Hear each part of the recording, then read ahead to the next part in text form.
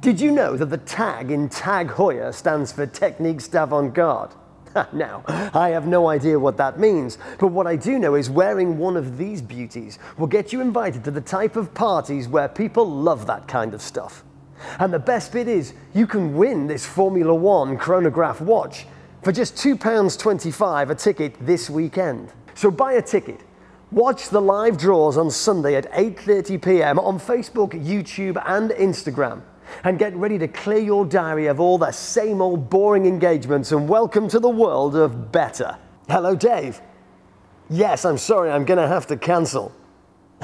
yes, I do have a new tag watch.